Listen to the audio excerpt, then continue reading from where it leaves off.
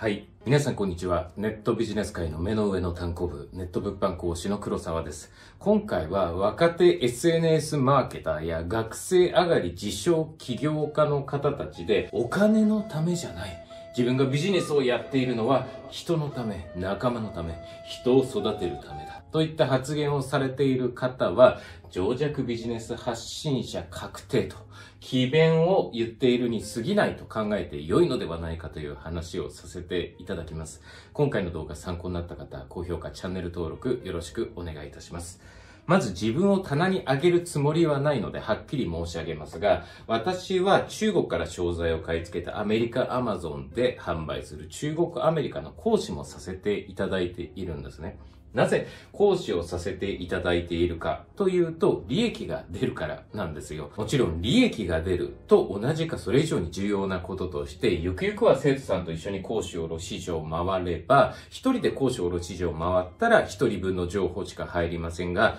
みんなで回って夕食時に情報交換すれば、格段に有益なことは確かですし、物販セラー同士として情報交換を行えれば、それも有益なことですから、そういったある種副次的な目的っていうのはあります。ただ前提としてなんで自分が講師やってるかっていうと、利益が出るからに決まっているんですよ。これは別に背金主義というわけではなくて、資本主義で何かしらの商売を行う前提条件は利益が出ることに決まっていると個人的には思っています。ただここからが重要なんですが、講師というサービス業にしろ、商品を販売して利益を得るという小売業にしろ、三方よしの堅実な商売というのは何かしらの対価として何かしらを捧げる必要が元来出てくるんです。お金のためじゃない発言について掘り下げる前にもう少しその点説明させてください。私の行う講師業というのは一見するとコストが全くかかっていない私の頭の中の情報やノウハウを生徒さんにお渡しするものだと思われがちですし、それは間違ってはいないんですが、まずこの情報やノウハウを培うためには、それまで多大な時間と労力をかけているわけです。それ以上に、この情報やノウハウをただ投げっぱなしにしたところで、生徒さんは絶対に体得できません。よって、ある種家庭教師のように時間や労力を生徒さんに合わせてじっくりがっつりとかけていくことで、ようやく私が生徒さんにお渡しできるものが揃うという状況になります。そして時間をかけて培った情報やノウハウを時間や労力をかけて生徒さんにお渡しする対価として初めて学費がいただけるという形になるわけです。だからお金をいただいているものの時間や労力を時給換算すると契約社員さんだとかパートさんと同じくらいのお金をいただくことで生徒さんとしてもこれだけやってくれるんだったら納得だよねと思っていただけるというわけです。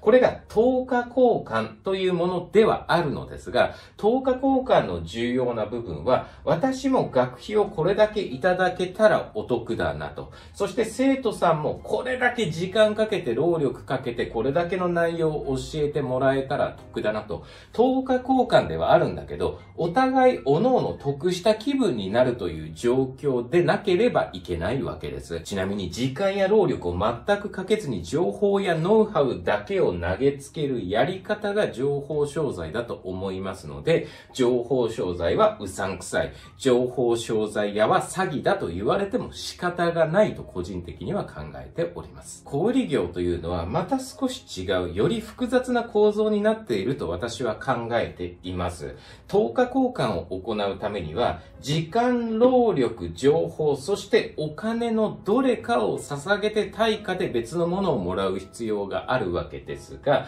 まず生徒さんが商品を購入するということは、お金を買うことで物理的な実体のある商材を仕入れるということです。そしてこの商材を Amazon で販売するということは Amazon の出来上がった販売プラットフォーム上で商品を宣伝する時間や商品を発送する労力を大幅に省く代わりに Amazon さんに手数料をお支払いするという形になるわけですからこれは端的に言ええば手数料というお金を支払うことによって、時間や労力を省くという対価を享受するという話だと思います。とにかく何かしらの対価として何かしらを支払う、捧げる必要があるのがビジネスの基礎中の基礎なのですが、ようやくここから本題です。お金のためじゃない。人のため、仲間のため、人を育てるために自分はビジネスを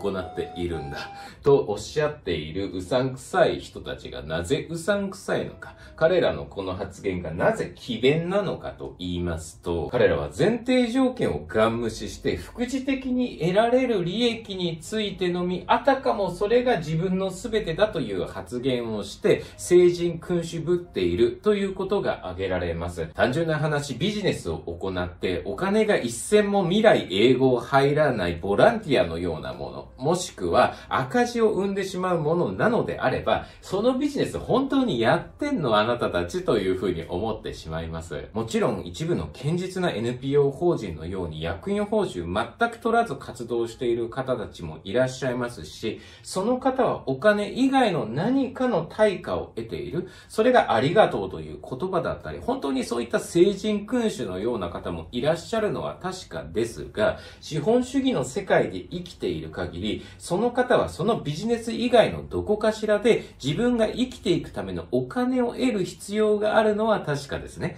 よって、こういった発言をする人が、そのビジネス以外していないのであれば、確実にそのビジネスのどこかに利潤を生むシステムがなければいけないわけです。だから余計にこの発言に裏があるとしか思えないわけですよ。また、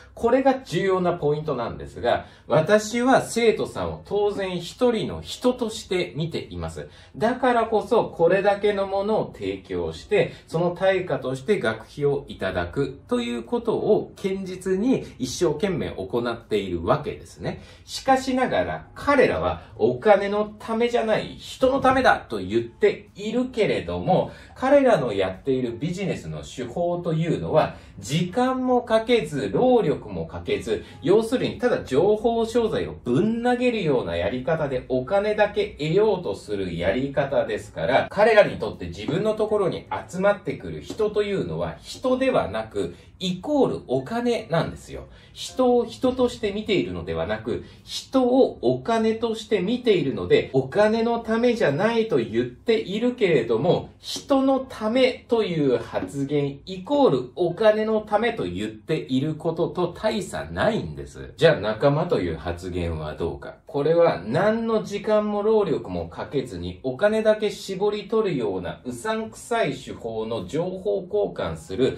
いわば詐欺集団の仲間を指しているに過ぎませんし、人を育てるというのは、人イコールお金なわけですから、自分にお金を払ってくれるようなカモを育てると言っているに過ぎません。今回の話まとめます。お金のためじゃないという発言は一見正論に思えるし、言う人が言うとなるほどって思える話ではあるのですが、誰が言ってるかが問題なわけですね。うさんくさい人が言ってるからこの発言に対してモヤモヤが残ってしまうわけですよ。そのモヤモヤを払拭するために、彼らの言う人、仲間、人を育てるという言葉について、本来の意味に痴漢してみると、ようやく正体がめくれるわけです。繰り返しになりますが、背筋主義の彼らにとって人というのはお金もしくはうさんくさい手法の情報交換をするうさんくさい仲間を指す言葉であり、彼らがよく言う超有料級の無料プレゼントを用意しました。ものすごく時間や労力をかけましたという、この